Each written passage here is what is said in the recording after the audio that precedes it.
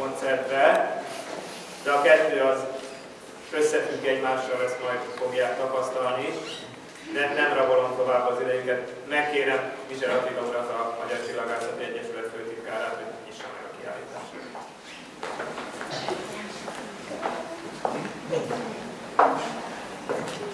Most kívánok, én csak az egyik műtó leszek, de ezt majd Attila korrigálja. Ennek a kiállításnak, illetve ennek a programnak azt hiszem, hogy a csillagok, csillagok, pont, pont, pont. Ezt mindenki tudja, hogy hogyan kell folytatni, igaz? És nem akarom provokálni a közösséget, hogy énekeljünk is erre, vannak itt gyerekek.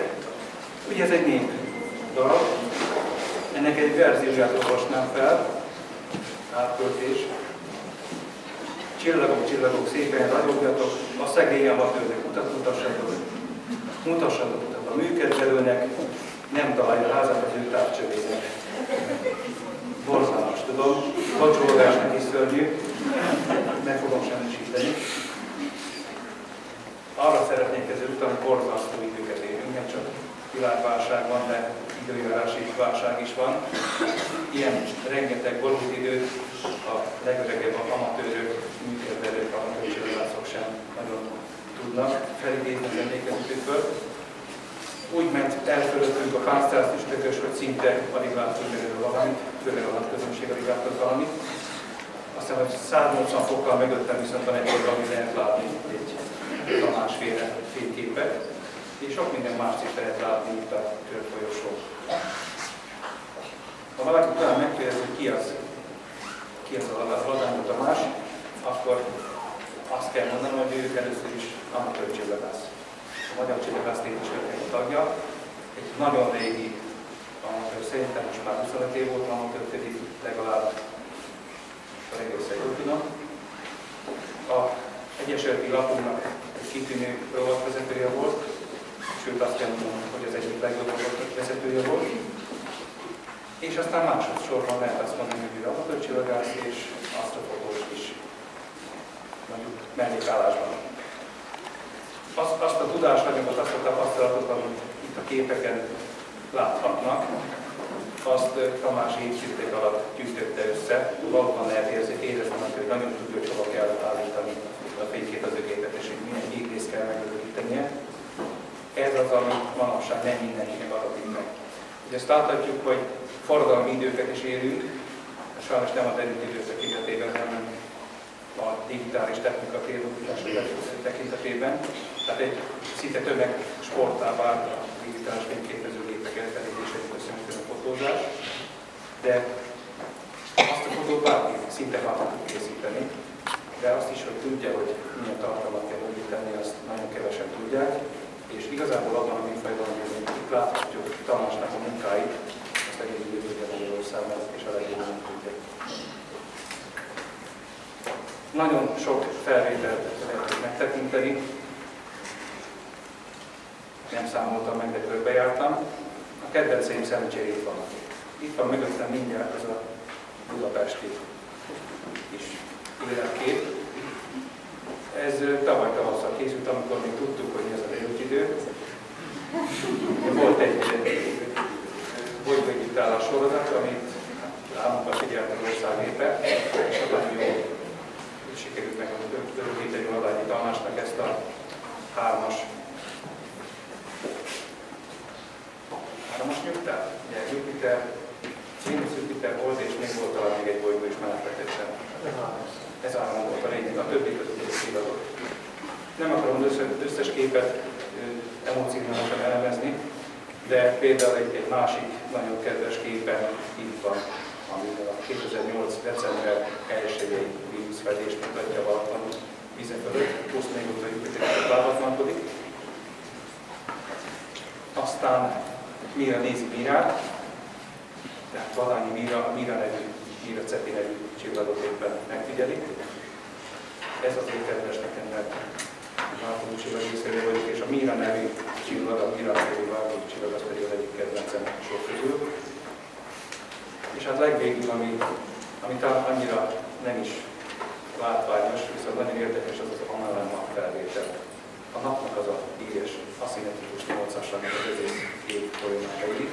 Hát ezt a Tamásnak sikerült megörökíteni. Én azt mondom, hogy a világ azt a fotósok között nagyon kevesen van, akik ezt megcsinálták. Szerintem még nem tudszak lehet, de javíts ki, hogyha hosszú van. Hát nagyon-nagyon sok munka van bennünk. Nagyon nagy örömmel jöttem el Tamás meghívására, és nagyon nagy örömmel láttam így a képeket, amiket persze az interneten és azért nézni, de azért egy kép, úgy kép, hogyha van van. Ki-ki esetleg találtuk és fölötti. Na persze nem ezt lehet azt tenni, mert nyilván meg kell beszélni a szerzővel. Most azonban fogadjuk szívünkbe ezt a sok-sok asztrofotót, ezt a sok-sok asztrotájképet, és köszönjük meg Valári Tamásnak, hogy ebben a borok időjárásban elhozta hozzánk a csillagok világát.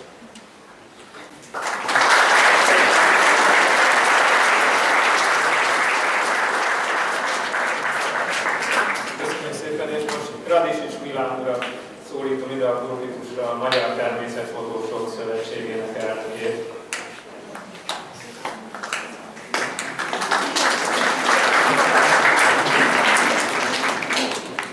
Jó napot kívánok mindenkinek, sziasztok! Következő nagy kérdéssel fordulok hozzátok önökhöz, hogy vajon-e, vajon van-e időutazás? Ez az a kérdés, amely sokunkat foglalkoztat, és a hagyományos értelemben gondolom ezt. Mindenki már gondolom eljátszott azzal a gondolattal, hogy hogyan néz neki, hogy egy picit repülnénk egy-két ezer évet és az egyiptomiak között gondolnánk, vagy a kőkorszakban, vagy a dinók idejében, akár mesebeli történetekre is lehet gondolni. És én azt gondolom, hogy a mai tudatunkkal, vagy a mai lehetőségeinkkel ez még nem lehetséges. Ez a valós világban van, ugyanakkor van előttünk egy másik világ, ahol az időutazás az igen megvalósítható, ez a csillagoknak a világa. Miért gondolom ezt? Mert egy-egy csillagot, amit látnak akár a Tamás képein, azok tőlünk 50, 100, 1000, 7, 10 ezer fényévre vannak távol. Ezt ha lefordítjuk, ez azt jelenti, hogy 7000 év kell, hogy a csillagnak a fénye a Földre érjen. Egy picit elgondolkodunk, ez azt jelenti, hogy abban a pillanatban, azaz ma, amit látunk az égen, és lefotózunk, az nem biztos, hogy egyáltalán létezik, hiszen az a csillag lehet, hogy azóta megszűnt, vagy esetleg két új csillag egyé vált, és egy új bolygót alkot a világban. Tehát egy nagyon érdekes időutazásban veszünk részt, hiszen a cégen látható csillagok, azok teljesen más időzónákban vannak. Az egyik 50 évre van tőlünk fényévre, a másik 4000-re. Különböző időszakokból és időzől látunk csillagokat, tehát mi tulajdonképpen, amikor felnézünk a látunk, a csillagoknak nekünk a jövőt üzenik, mert a csillag, amikor egy pillanatban kiküldi a fényt, ugye, ami folyamatosan jön, az csak 7000 év múlva érkezik ide a Földre bizonyos esetekben. Ez a csodálatos többek között ebben a világban, ugyanakkor nagyon nehezen értelmezhető számunkra, mindaddig még nem helyezzük ezeket a csillagokat kontextusba. És itt jön képbe a Tamás, Padányi Tamás, aki egy új hullámot lovagolt meg, amely divatos a világban, de nem csak a divatról van szó, hanem ezeket a irreális méreteket és a távlatokat egy kontextusba helyezi, azaz számunkra értelmezhető dimenzióba tájképet kombinálja. Mert hogyha látjuk a tájképet, nagyjából fel tudjuk fogni a csillagoknak a távolságát, napságát, pompáját, bár ugyanakkor a 7000 évtávlatot nem igazán látjuk mindig, de könnyebbé válik. És így a Tamás meghonosította ezt a műfajt, mert úgy gondolta, hogy ezt nem csak passzióból csinálja és dokumentálja a csillagászatot, hanem mindannyiunknak megmutatja, hogy milyen csodálatos világ van. És ezzel nem csak, hogy meghonosította ezt a műfajt, hanem nagyon sikeres természetfotós lett, amellett a csillagász, így a Magyar Természetfotósok Szövetségének elismert tagja, National Geographic magazinban publikált, és nagyon-nagyon sok unikumot, olyan jelenséget mutat nekünk, amit a mindennapi városlakó akár azért, nem néz az égre, vagy akár azért, mert túl világos az ég volt, nem mindig lát. És hát a Tamásnak azt köszönhetjük, nem csak azt, hogy sok szép képet látunk, hanem elsősorban, hogy itt mindannyian egy csodálatos időutazásban vehetünk részt. Köszönjük Tamás, és gratulálunk kiállításhoz!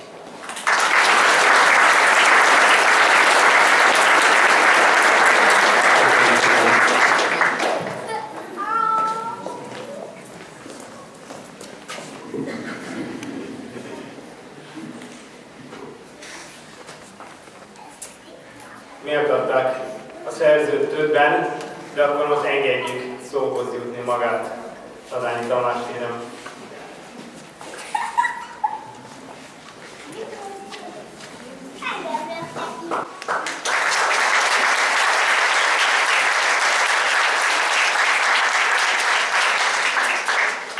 Köszöntöm a kedves vendégeket a nyári időszámítás, a csillagászati tavasz és a meteorológiai tél időszakában. És bátorkodtam azt az építestet, amit mindannyian hiányolunk az égboltról, ezt elhozni nektek képek formájában, úgyhogy bármerre is indultak el a kiállításon, akár jobbra-balra, a napot beillesztettem a képek közé. Tehát aminek papírforma szerint az a feladata, hogy fényt és hős sugározzon a planétánk felé, tehát emlékeztetésképet, tehát nem elvégezés, de elhoztam nektek a napocskát is. Engedjék meg, hogy néhány szót szóljak a kiállításnak a apropójáról és a rendezvény helyszínének az autoritásáról. De csillagok, csillagok, asztrofotó kiállításról beszélünk, és koncert követi majd ezt a kiállítás megnyitót. És ezen a helyen, a Planetárium intézményében úgy érzem, hogy ez a koncert kiállítás igazán értelmet nyer. Ugyanis a Planetárium az központi szerepet tölt be a hazánk csillagászati ismeretterjesztésében. Ezt jó magam is elmutatom, ugyanis amikor tínédzser voltam, és Budapesten töltöttem a vakációval, tehát mi vidékiek Pestre jártunk vakációzni, akkor annak idején én végignéztem az összes létező műsort a planetáriumban, tehát elmondhatom, hogy a csillagászati ismereteimnek egy részét azt itt szívtam magamba, és ezúton is köszöntöm a planetáriumnak egy, egy régi, hát tulajdonképpen történelmi személyiségét, Mávis Andrást, aki közel három évtizeden keresztül uralta itt a területet a ismeretterjesztésnek a területén. Hol van az András, az előbb beszéltem vele. Erre van. Szervusz András!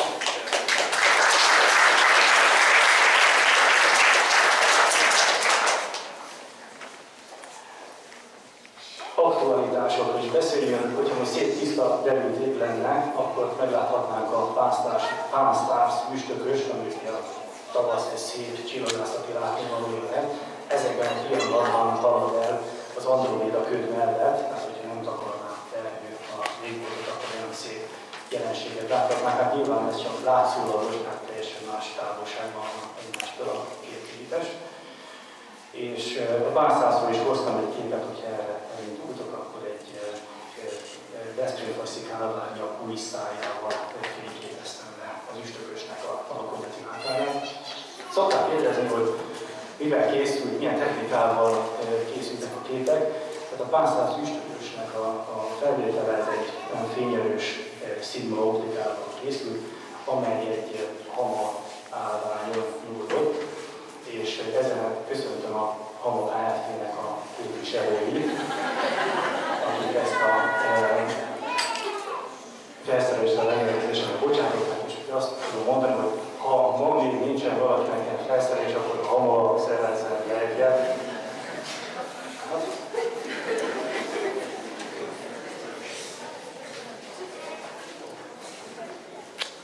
Igazán megtisztelő számomra, hogy ez a rendezvény bekapcsolódhat a National Geographic rendezvény sorozatába, 125 éves fennállását ünnepelző intézmény, mert azt hiszem, hogy egy igazán elég színvonalat képvisel a természettudományos ismeretterjesztésben, valamint ugye a fotográfiában. Tehát annyira híres, hogy nem lehetséges senkinek bemutatni. És egy aktualitást mondani, hogy reméljük, hogy olvassák az online oldalunkat, és itt meghamosodott már az Astrofoto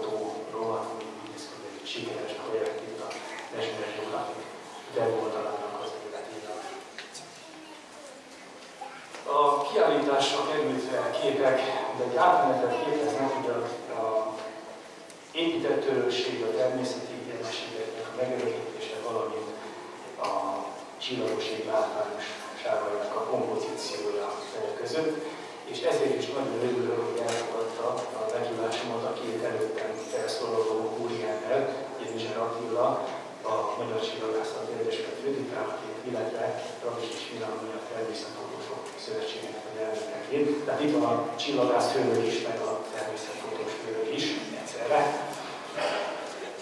És uh, talán ez olyan szempontból is egy, egy érdekes öltöződés, hogy uh, a munkában mindenki vonalban emlékszem dominásan kifejezetten is talán erről is szól ez a kiállítás.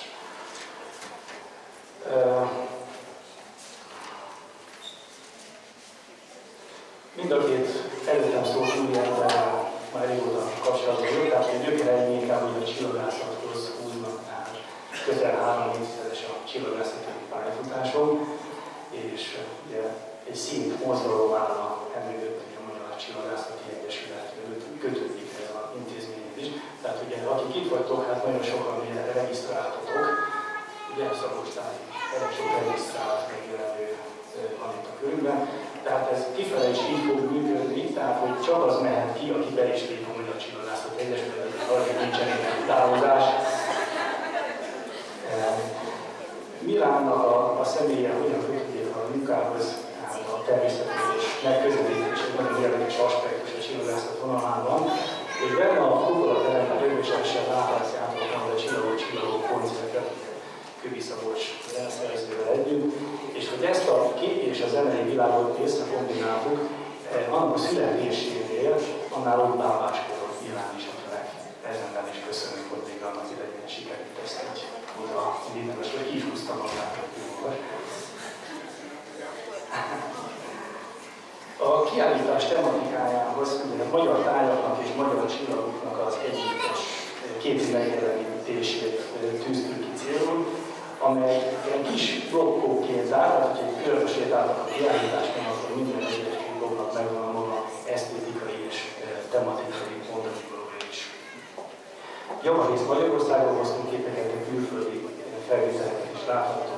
Pont egy éve voltam Brazíliában, szép verőfényes napsütésben vagy csillagsütésben, de más e, himalájai, dolomitokbeli képeket is e, látható. És néhány szót mondanék a, rövidesen a Kukorok teremben e, szervezendő előadható koncertről, amely Kövi Szabos zeneszerzővel egy közös képes zenés projekt, amelynek az ötlete 2009-ből származik, ugye ekkor a csillagászat nemzetközi éve, és a Nemzeti Múzeumban a The World at Night és a világ éjszakai arcát bemutató eh, kiállításra szabadultak írtam meg zenélni, és akkor nagyon megtetszett nekem, hogy a zenét mennyire passzol a különböző csillagászati eh, éjszakai témához, és akkor határoztuk el ennek a közös eh, munkának a, a megvalósítását. Hát amely kb. 5 évet igényelt, hát nekem előtte is voltak anyagaim, tehát ezen munkavégén, hogy többesen látható a kukorán, az közös munkának az eredménye lesz. Amely magyar tárgyakat mutat be, és Szabolcs pedig magyar népzenei harmóniákat, népzenei dalamokat komponált, hogy úgy érezzük, hogy miénk ez a téma.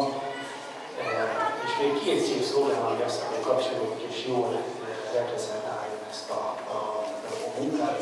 Az én volt mindenkivé, hát mondotta volt, hogy úgy György, a magyar csillagászat, aki vonatos csillagászatnak az atya, aki történetileg kapcsolódik a planetáriumnak a megalapításához is.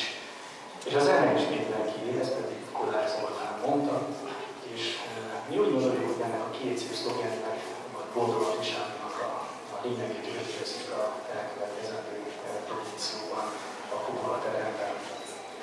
Néhány szót mondanék a, a elkövetkezendő percekről, tehát tartunk egy, egy nagyon rövid technikai szünetet, tehát ezt a két ajtót fogjuk itt kinyitni, tehát tőlem jobbra és balra, és arra kérném a tisztelt közönséget, hogy amikor már becsuktuk az ajtókat, akkor utána legyen ki járkálás, tehát hogy adjuk meg a részleteket ennek a, a egyezménynek, amiben úgy hiszük, hogy a planetáriumnak a sajátos atmoszférája az még pluszban hozza ezt a képet és az világhoz.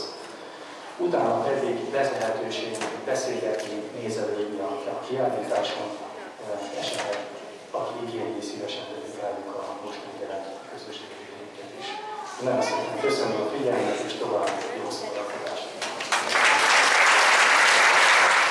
Nyerges Gyula segítségével összeállítottunk egy kis műsort az elejére, eh, ahol én azt szerettem volna, hogy csak a planetáriumi technikát használjuk. Én gyerekkoromban szintén voltam itt, és óriási hatást gyakorolt rám a planetárium légköre. És az első számmal is szeretném így rávezetni önöket két okból is a, így a koncertre. Egyrészt mert sok felől érkeztünk, egy kicsit talán nyugodjunk meg, ezért 7 percig az elején teljes sötétségben a Himalája Meditáció című számomat játszom el, és itt egy picit eljutottunk oda, hogy bemutatom a hangszereket, már csak azért is, mert az első planetárium részben teljes sötétben leszek, tehát nem fog látni egy csöppet sem.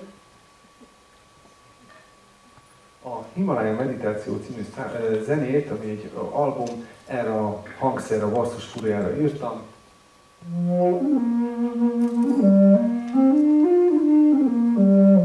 Nagyon nyugtató hangja van, tehát nem véletlen, hogy ezt választottam indító számnak. Egyébként azért is ezt a, a kis meditatív sötétséget teszem az elére, mert a szemünknek meg kell szokni a sötétséget, minél jobban hozzászoktunk a sötéthez, annál fényesebbnek látjuk majd a vetített csillagokat. A bavu egy kínai hangszer,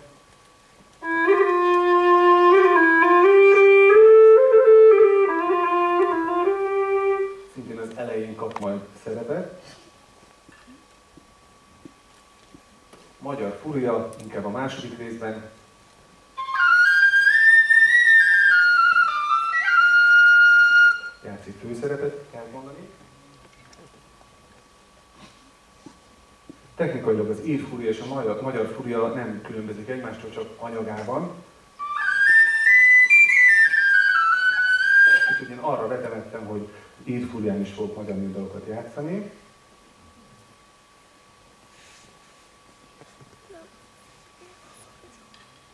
Szerepet kap majd a magyar Pilinkó, mindjárt kettő előle.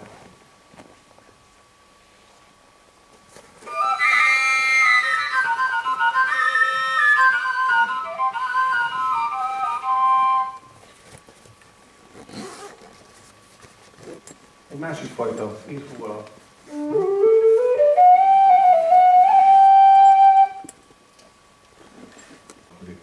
Jó szórakozást kívánunk, és énekeljük még a